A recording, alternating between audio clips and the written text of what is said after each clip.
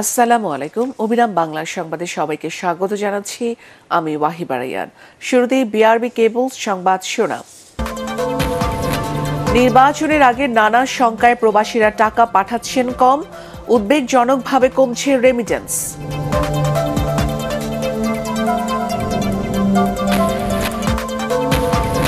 শেখ হাসিনাকে হত্যার ষড়যন্ত্র চলছে, বললেন স্বরাষ্ট্রমন্ত্রী, কঠোর সতর্কতা আইজিপির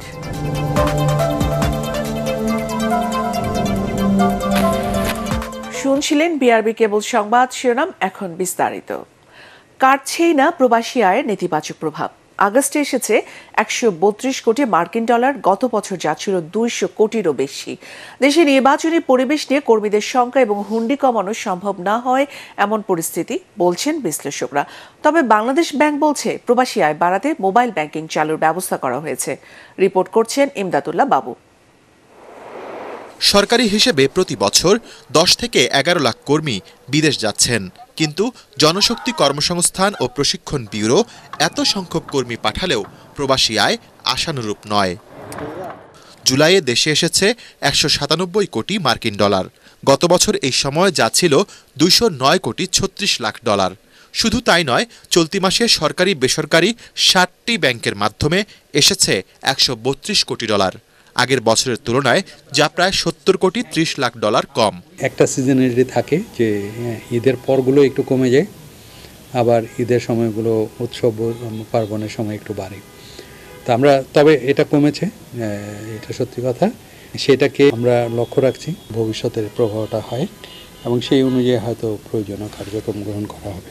আমরা বারবারই বলছি যে কেউ যাতে অবৈধ চ্যানেল ব্যবহার না করে। আপনার অর্থটাকে বৈধভাবে প্রেরণ করেন, তাহলে কিন্তু আপনার জন্য ব্যাংকিং চ্যানেলে আপনার টাকাটা হোয়াইট মানি হয়ে থাকছে। দেশ এখন নির্বাচনমুখী ইউটিউব ফেসবুক খুললে সব দেখতে পায়।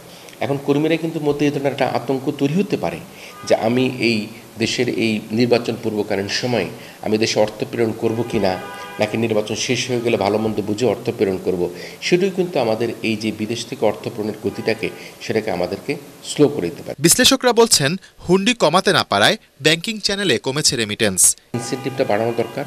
আমাদের কর্মীদেরকে তাদের কর্মস্থল থেকে ব্যাংকিং প্রসেসে অর্থ সংগ্রহ করবার যে প্রসেস সেই প্রচেষ্টা করা দরকার। আমাদের দূতাবাসগুলোকে যাতে তারা শ্রেষ্ঠ রেমিডের যোদ্ধাকে প্রতি বছরে একবার হলো তারা ডেকে তাদেরকে সার্টিফিকেট প্রেস প্রদানের মাধ্যমে সম্মানিত করে। ফিলিপিন্স তিরিশ চল্লিশ লক্ষ কর্মী প্রেরণ করে যে অর্থ উপার্জন করে, তার চাইতে কম উপার্জন করে আমরা এক থেকে শ কোটি কর্মী বিদেশে প্রেরণ করে। তো সেই অবস্থার প্রেক্ষিতে আমাদের দক্ষ কর্মী প্রেরণ করতে হবে, অতি দক্ষ কর্মী প্রেরণ করতে হবে। ব্যাংকগুলোকে অ্যালাউ করছি।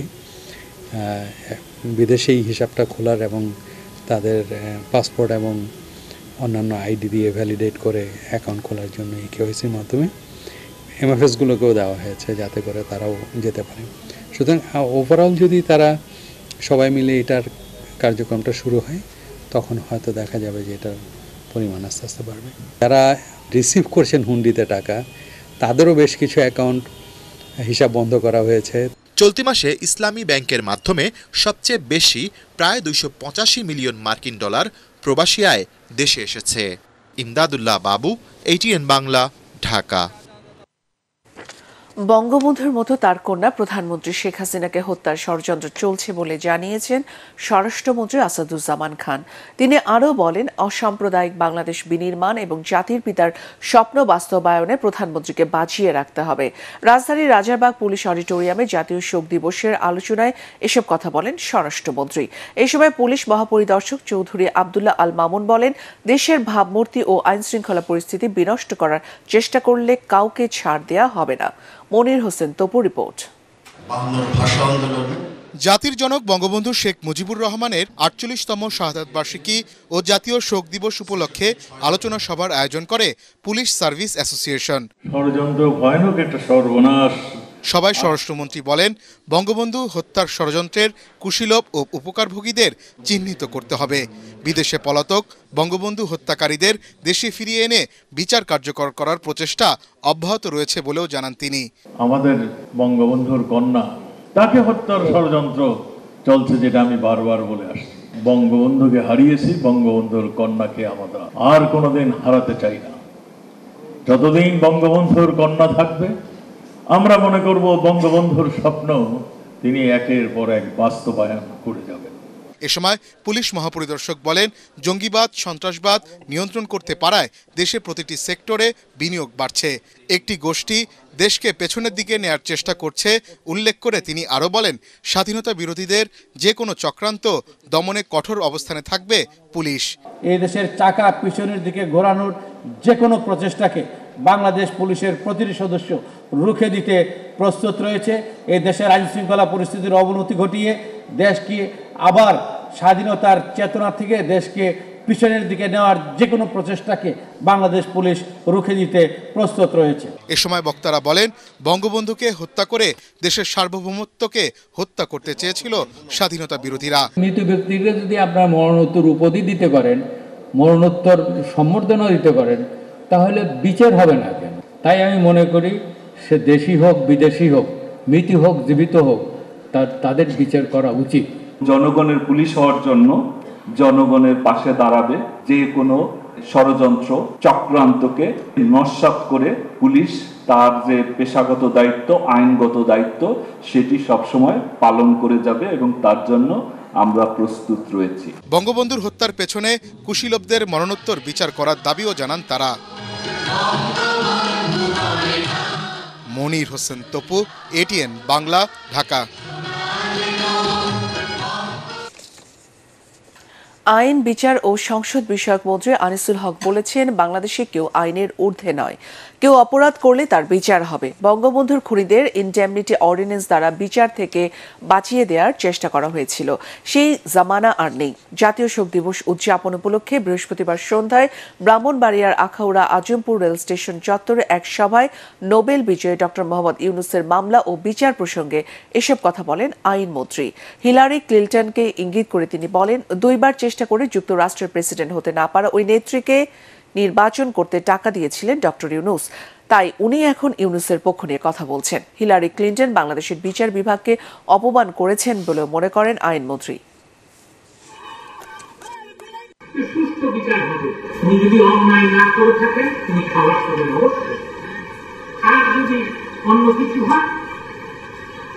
বিচারক বিচারের কাজ করবেন বাংলাদেশে।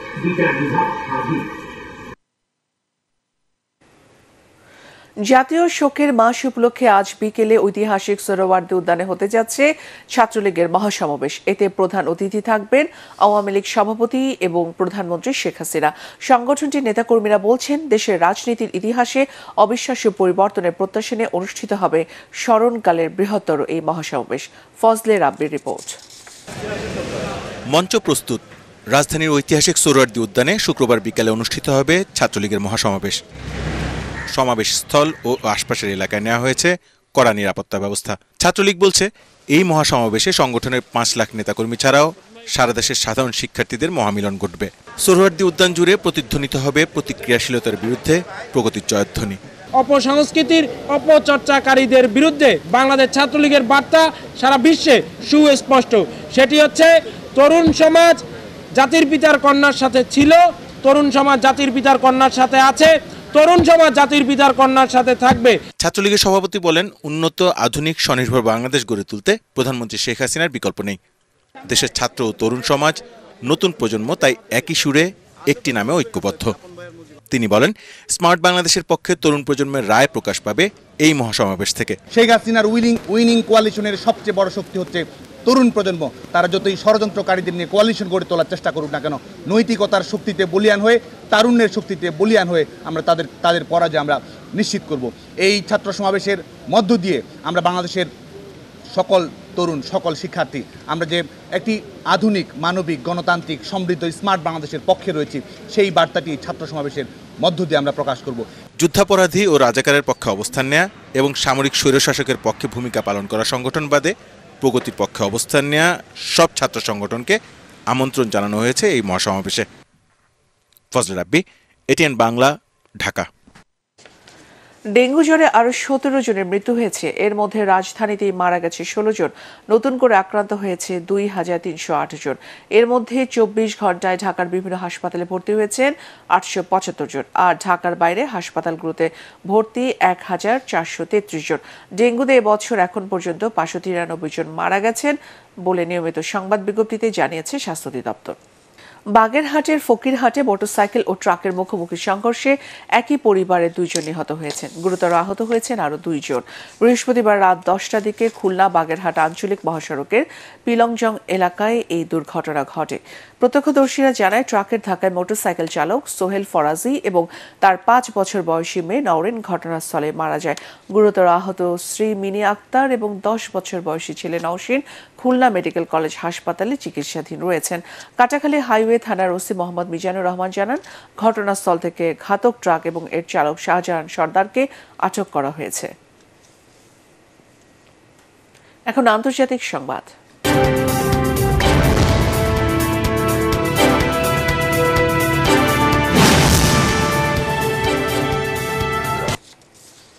সুপার সাইক্লোন ইদালিয়ায় বাড়িঘর হারিয়েছেন যুক্তরাষ্ট্রের ফ্লোরিডা অঙ্গরাজ্যের অন্তত দশ হাজার মানুষ।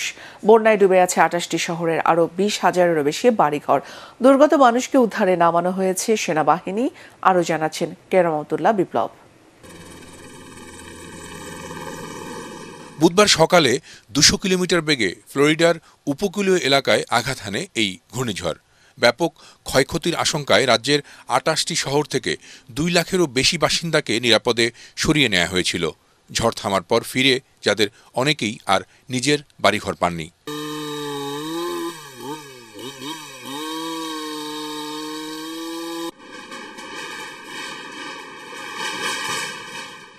সবচেয়ে বেশি ক্ষতিগ্রস্ত হয়েছে বিগ এলাকায়। সেখানে এখনও অনেক শহর তলিয়ে আছে কয়েক ফুট পানির নিচে।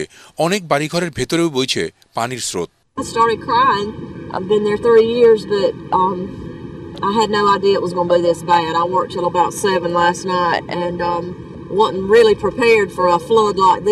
ক্যাটাগরি তিন মাত্রার প্রচণ্ড এই ঘূর্ণিঝড় পুরোপুরি লণ্ডভণ্ড করে দিয়েছে উপকূলীয় এলাকাটিকে ক্ষতিগ্রস্ত হয়েছেন দশ লাখেরও বেশি মানুষ আর্থিক হিসেবে সম্পাদহানির পরিমাণ কয়েক billion dollar And if you look just a little bit further, there's another concrete slab over there.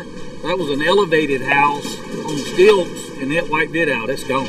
Walking in the church, the piano's destroyed, water come through the windows, the windows are busted out, and it's God's world. It's God's church house. So the pit in your stomach is not describable.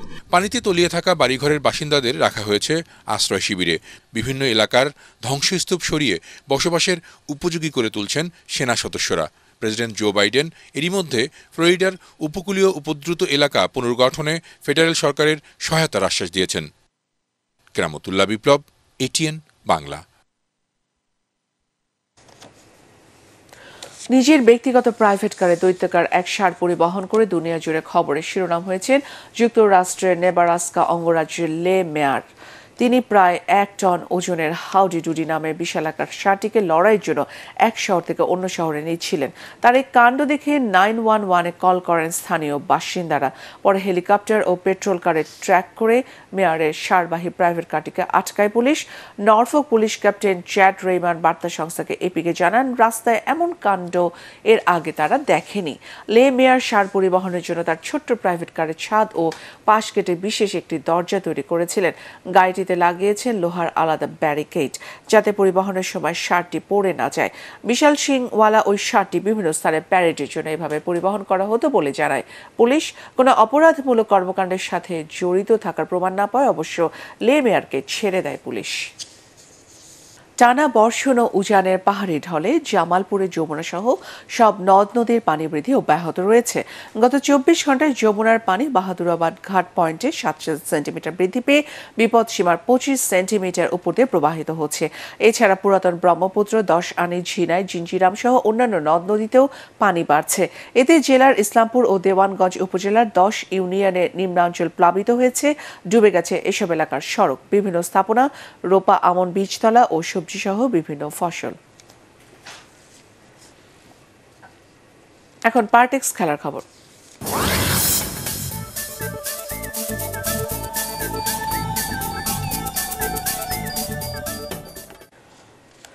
পরাজয় দিয়ে Asia cup mission শুরু করল বাংলাদেশ। পালেকেলেতে শ্রীলঙ্কার কাছে পাঁচ উইকেটে হেরেছে সাকিব আল হাসানের দল। টাইগারদের দিয়ে একশো পঁয়ষট্টি রানের সহজ লক্ষ্যে খেলতে নেমে সাদিরা এবং শ্রীলঙ্কার ফিফটিতে উনচল্লিশ ওভারে পাঁচ উইকেট হাতে রেখে জয়ের লক্ষ্যে পৌঁছায় লঙ্কানরা। এর আগে টসে জিতে ব্যাট করতে নেমে একশো চৌষট্টি রানে থামে সাকিবের দল। মমিনুর রিপনের রিপোর্ট। এশিয়া কাপের শুরুটা কেমন করবে বাংলাদেশ তা দেখার অপেক্ষায় পাল্লে কেলে তো নজর টাইগার ভক্তদের। শ্রীলঙ্কার বিপক্ষে টস ভাগ্যটা বাংলাদেশের পক্ষেই। টাইগারদের নতুন উদ্বোধনী জুটি মোহাম্মদ নাইম ও অভিষিক্ত তানজিদ হাসান। কিন্তু শুরুটা ভালো হলো না। অভিষেক ম্যাচে রানের খাতায় খুলতে পারলেন না তানজিদ। দলের পঁচিশ রানের সাজ ঘরে নাইম। ধাক্কাটা সামলে নিতে পারেননি অধিনায়ক সাকিবও। ছত্রিশ রানে তিন উইকেট হারানোর পর উনষাট রানের জুটিতে চাপটা সামলে নেওয়ার চেষ্টা করেন নাজমুল হোসেন শান্ত ও তহিদ হৃদয়। ক্যারিয়ারের চতুর্থ ফিফটি তুলে নিয়ে আশা জাগান শান্ত।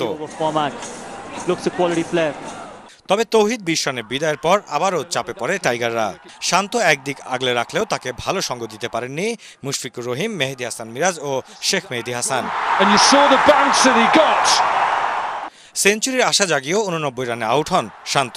শেষ পর্যন্ত বিয়াল্লিশ ওভার চার বলে একশো চৌষট্টি রানে থামে টাইগাররা।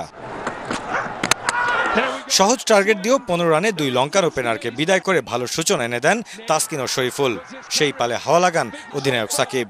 তেতাল্লিশ রানে তিন উইকেট তুলে নিয়ে যা একটু আলো জ্বেলেছিল টাইগাররা।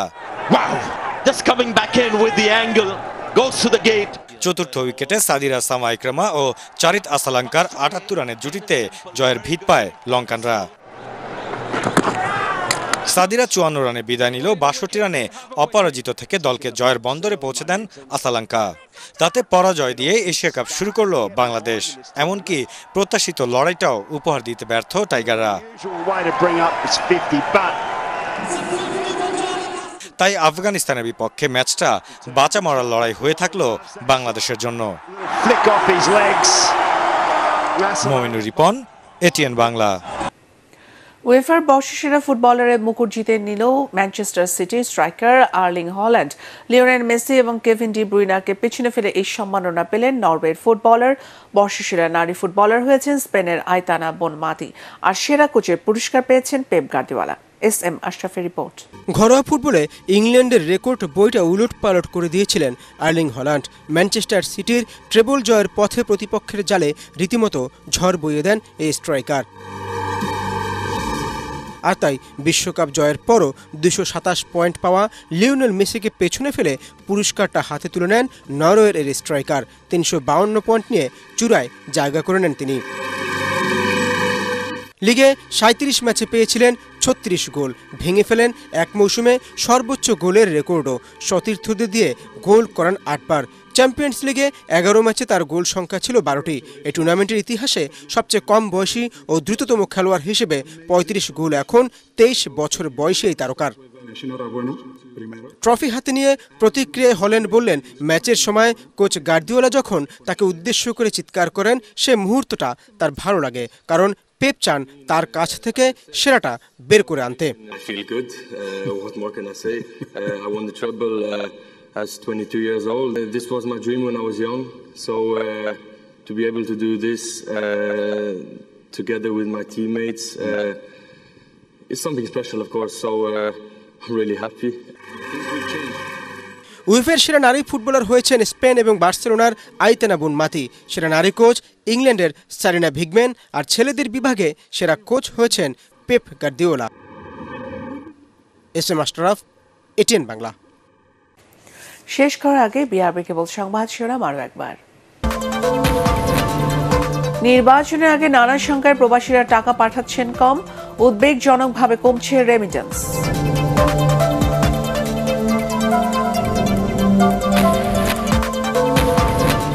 শেখ হাসিনাকে হত্যার ষড়যন্ত্র চলছে বললেন স্বরাষ্ট্রমন্ত্রী। কঠোর সতর্কতা আইজিপির।